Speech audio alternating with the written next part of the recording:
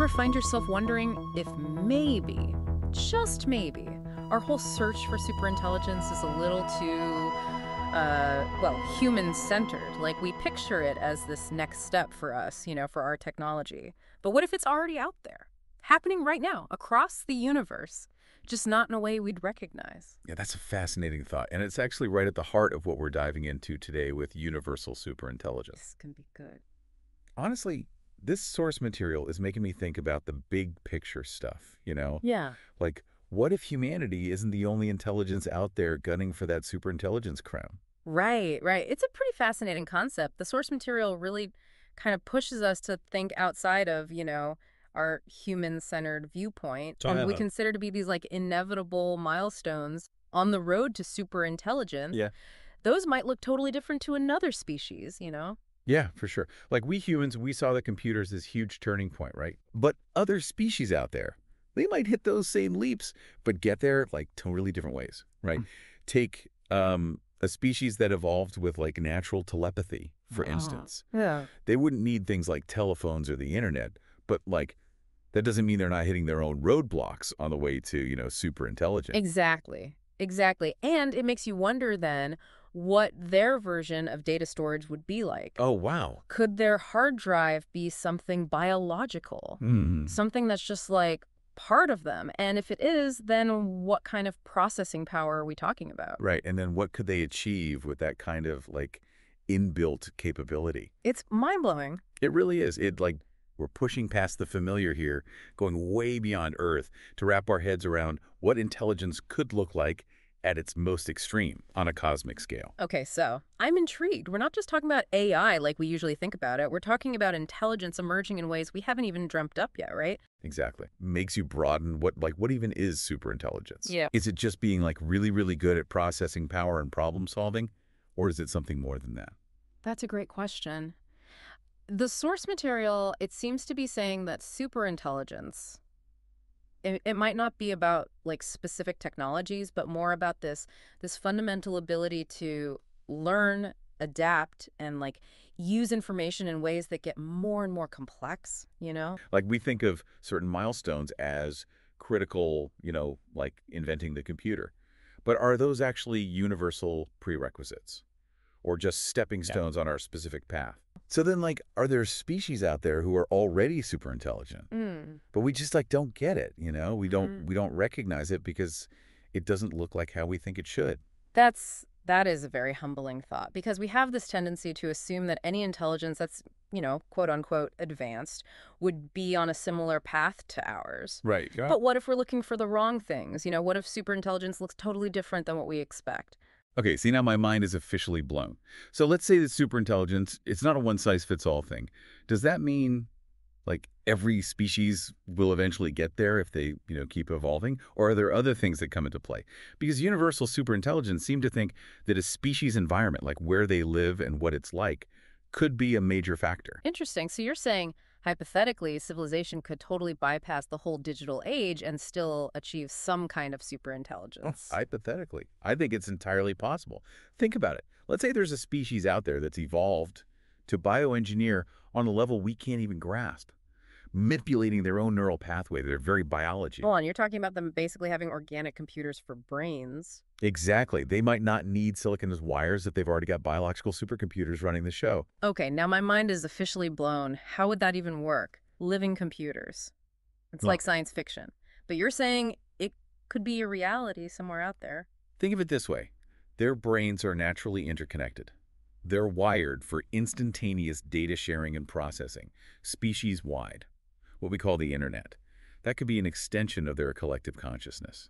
Wow. Okay, that's a lot to process. We're talking about a level of interconnectedness that's just mind-boggling. It really challenges our whole definition of what a computer even is. Mhm. It might not look anything like the devices we use, but the underlying principles, the information processing, could be very similar, just manifested in a radically different way. Okay, yeah, definitely. The source material, it makes a really strong argument about how a species environment shapes how smart they get. Like, it even says that a really harsh or unpredictable planet, that could actually make them get to superintelligence faster. Wait, so instead of holding them back, a tough environment actually forces them to, like, up their game, adapt quicker. Exactly. Yeah. Picture this.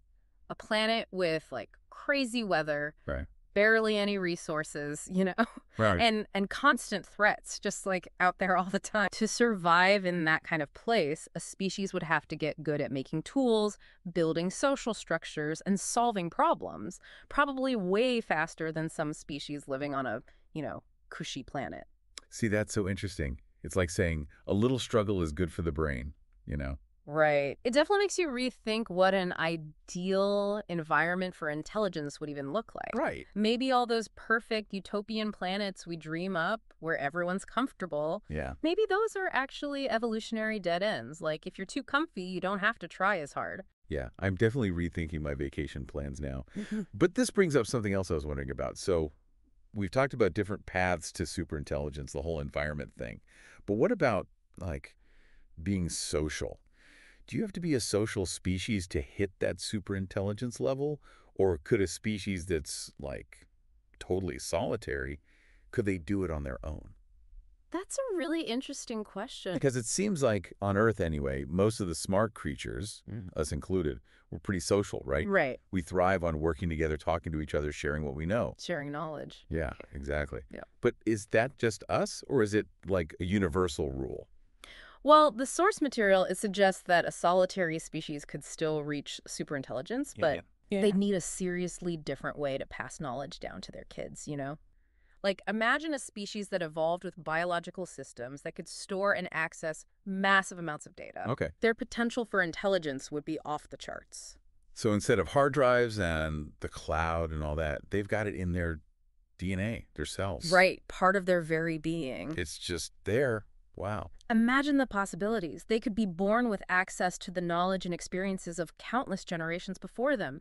No need for schools or learning the way we do it. It's like they're born with a supercomputer already installed. Exactly. No wonder they wouldn't need to invent things like, I don't know, iPhones. Right. Ways that could unlock stuff we can't even imagine yet. And that's what's so exciting about it, isn't it? We often fall into this trap of thinking intelligence has to be like us. Yeah. But what if we're looking at a whole spectrum of intelligence out there, each species expressing it in its own way, based on its biology, its environment, its whole evolutionary journey? Okay, see, that is a mind-blowing thought. Yeah. It makes this whole thing so much more exciting. It really does. And we're just getting started. This whole conversation just makes you realize how many assumptions we make about intelligence, you know? Oh, totally. We picture superintelligence as this like hyper advanced version of ourselves. Yeah. But what if it's something we wouldn't even recognize? Right. Like, it's not even about predicting what they do. It's like, would we even know they were super intelligent in the first place? Kind of like you were saying earlier, maybe we're looking for the wrong clues. It's totally possible. We're wired to look for patterns, to make connections based on what we already know. Makes sense. But what if superintelligence operates in ways that are so beyond us, so outside our current understanding, Yeah. that we literally can't even detect them with our current methods? So instead of searching for like radio signals or Dyson spheres or whatever, right, right. Maybe we should be looking for things that just don't make sense. Things that break our current models of physics or biology. Anomalies. Exactly. We could find evidence of superintelligence in the most unexpected places, Hmm. but only if we're willing to change how we define intelligence in the first place. That is both humbling and kind of exciting when you think about it. Reminds me of that quote. Hold on. It's uh the universe is not only stranger than we imagine, it is stranger than we can imagine. Oh, yeah, Eddington, right. Yeah, him. It's always messing with my brain. It's a good one, though, because looking for superintelligence, that might be the ultimate example of how weird and mysterious the universe really is. Totally. It's like we're just starting to see the edges of this huge unexplored territory, Yeah, and we have no clue what's out there, what's Yeah. amazing, what's dangerous, any of it. absolutely. There you go. Thinking outside the box. But let's take it even further. We always link superintelligence to tech, right? Computers specifically. But is that just our path? The one we're on because of how we evolved? So you're saying there could be other paths entirely? Ways to reach that superintelligence that don't involve, I don't know, silicon chips and algorithms and all that? Exactly. Imagine a species whose brains aren't just good at processing information. They're literally designed for it from the ground up. We touched on this before, right, with the biological computers thing, those interconnected neural networks. But you're saying it could be even more fundamental than that. What if their very cells, their biology itself, operates on principles that we associate with computers. Their intelligence isn't something they built, it's something they are. Wow, okay. That's next level. That's not even artificial intelligence anymore. It's like organic intelligence, but on a scale we can barely comprehend. But here's the thing. If they're not relying on technology as we know it, how do they communicate all these complex ideas, share knowledge, build on each other's work? We have language for that, but what would their equivalent even be? And that's where things get really interesting. Yeah. What if our definition of language is, you know, holding us back? Like we're so used to spoken words, written symbols, all that. Maybe we're missing entirely different forms of communication happening all around us. Okay, love where you're going with this, so hit me with it. Okay. What could these other forms of language even look like? Give me an example. Think about it. We've got species right here on Earth that communicate in amazing ways. Fireflies use bioluminescence, right? Hmm. Bees have those intricate dances. Now, imagine that, but on a whole other level. What if, out there, information is encoded in pheromones or transmitted through variations in gravity? It's like we're back to those black holes having a chat again. But you're right, it makes you wonder if we're even looking for the right things. We're so focused on finding patterns we recognize, deciphering signals our way. Exactly. It's humbling, isn't it? This whole universe could be buzzing with communication, with knowledge being shared in ways we haven't even begun to imagine. Which brings us back to universal superintelligence. What does it mean, you know, if we're not the only ones on this quest, if this drive towards understanding is woven into the very fabric of existence? It could mean that we're part of something much, much bigger. Imagine a network of intelligence stretching across the entire cosmos. Each species, each civilization, adding its own piece to this massive, interconnected web. So it's not just about individual species becoming super intelligent, it's about all these different forms of intelligence merging, connecting. Exactly. Think of it like a universal symphony, each species playing its own instrument, its own unique melody, but all contributing to this grand, harmonious whole. A universal symphony of intelligence. Mm. Wow, okay, that's a powerful image. Yeah. Let's go back to that hive mind idea for a second. Okay, yeah, If a species hit superintelligence as a collective, like a hive mind, right. how would that affect what they value, what they want, how they'd even interact with other intelligent life? Okay, now those are the big questions. Yeah. I mean, the hive mind superintelligence, they wouldn't have the same drives as us, right? Like me versus you, individualistic stuff. Mm. Their whole deal might be about the collective good, whatever that looks like to them. Exactly. And think about their decision making. Their whole concept of individuality, free will, even morality Yeah. could be completely alien to us. Imagine trying to, like, have a diplomatic meeting with a hive mind superintelligence. Oh, man. Talk about a communication breakdown waiting to happen. Right, like, where do you even start? How do you find common ground, build any kind of trust Right. when you can't even grasp how they think as one giant entity? It would completely change how we approach talking to other intelligent life from the ground up. It makes you wonder, like, would our languages even work? That's a good question. We're so focused on like I statements, individual feelings, all that. right, our subjective experience. Exactly. Mhm. Would we even be able to get across the complexities of what a hive mind is thinking, what it wants to say? We might need totally new ways of communicating. Well, Methods that go beyond just words in a line. Something that taps into like the essence of consciousness itself. so like telepathy, but on a whole other So, level. in a way, yeah. Finding a way to connect our individual minds to that collective consciousness. Okay, my brain is officially overloaded, but in a good way. This yeah. is fascinating stuff, It is a lot to process, but that's what happens when you explore the really big unknowns, right? for sure. And universal superintelligence definitely doesn't hold back. Yeah. We've talked about the different paths to get to superintelligence, the environment, collective consciousness. Right. But there's one more thing I want to dig into. The whole idea of data being like the raw material of Well, intelligence. that was a big theme in the source material. The more data a species can access, process, understand, yeah. yeah. the faster their intelligence grows. Which makes sense if you think about it. Oh, totally. Look at how much smarter we've gotten just in the last few decades. Right. And a lot of that is because we've got more data and computing power than ever before. Exactly. But the source material, it also asks us to imagine data storage and processing that goes way beyond our current tech. It makes you wonder if our definition of data storage and processing is too narrow, too limited to what we know right now. Which I think is a key takeaway from all this. We see superintelligence through the lens of our own progress, our own technology. For sure. But what if that's just one tiny part of a much bigger, more complex picture? Exactly. There could be entire civilizations out there thriving in ways we can't even comprehend because our definition of intelligence is too small. It's like we're trying to find a lost city in the jungle. Go on. But we're so busy looking for skyscrapers that we miss the ancient ruins right in front of us. Perfect analogy. And it highlights how important it is to stay open-minded, to question what we believe, Yeah. to be willing to redefine what it even means to be intelligent. Because if we don't, Yeah.